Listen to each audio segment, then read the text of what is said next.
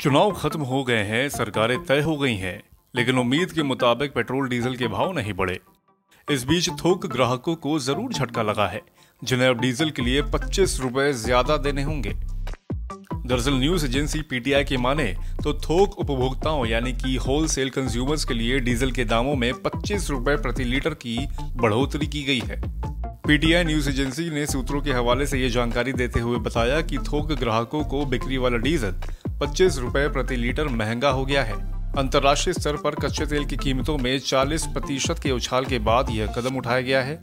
हालाँकि पेट्रोल पंपों के ज़रिए बेचे जाने वाले डीजल की रिटेल कीमतों में कोई बदलाव नहीं हुआ है। अब आंकड़े देखें तो इस महीने पेट्रोल पंपों की बिक्री में 20 प्रतिशत का उछाल आया है। दरअसल, बस बेड़े के परिचालकों और मॉल जैसे थोक उपभोक्ता अब पेट्रोल पंपों से डीजल खरीद रहे हैं। वो अब तक पेट्रोलियम कंपनियों से सीधे ईंधन की खरीद किया करते थे तो इस बदलाव से पेट्रोलियम कंपनियों को नुकसान होने लगा है। इनमें नायरा एनर्जी, जियो बीपी और शेल जैसी कंपनियाँ शामिल हैं, जिन पर सबसे ज़्यादा असर पड़ा है। जियो बीपी का कहना है कि रिटेल आउटलेट्स पर मांग में भारी बढ़ोतरी हुई है।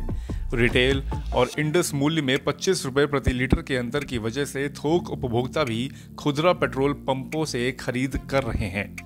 थोक उपभोक्ताओं के लिए दरों और पेट्रोल पंप कीमतों में पच्चीस रुपए का बड़ा अंतर इस शिफ्ट की बड़ी वजह है।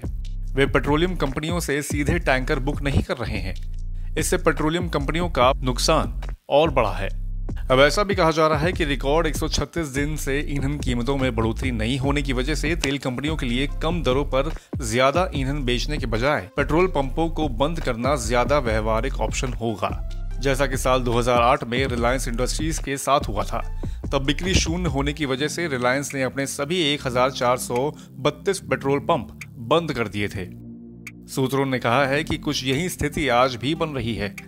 थोक उपभोक्ता पेट्रोल पंपों से खरीदारी कर रहे हैं। इससे इन रिटेलरों का घाटा बढ़ रहा है। अगर वर्तमान में थोक उपभोक्ता के लिए डीजल की बात करें तो मुंबई में दाम बढ़कर एक रुपए प्रति लीटर हो गया है। पेट्रोल पंपों पर डीजल चौरानवे रुपए प्रति लीटर के भाव बिक रहा है। इसी तरह दिल्ली में पेट्रोल पंपों पर डीजल छियासी दशमलव सड़सठ रुपए प्रति लीटर है, जबकि थोक या औद्योगिक ग्राहकों के लिए इसकी कीमत एक सौ पंद्रह रुपए प्रति लीटर है।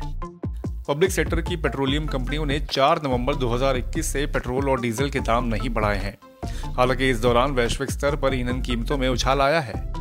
माना जा रहा है कि पाँच राज्यों के विधानसभा चुनाव के मद्देनजर ईंधन कीमतों में बढ़ोतरी नहीं की गई है। विधानसभा चुनाव के नतीजे 10 मार्च को आ गए हैं। लेकिन उसके बाद भी संसद के बजट सत्र के दूसरे चरण की वजह से फ़िलहाल कीमतों में बढ़ोतरी नहीं हुई है। हालाँकि कच्चा तेल 140 डॉलर प्रति बैरल के उच्चतम भाव से गिरकर अब 110 डॉलर प्रति बैरल पर आ गया है, लेकिन नवंबर 2021 के 80 डॉलर वाले भाव से तो फिर भी ये काफ़ी ज़्यादा है, जिससे तेल कंपनियों को भारी नुकसान हो रहा है। की रिपोर्ट।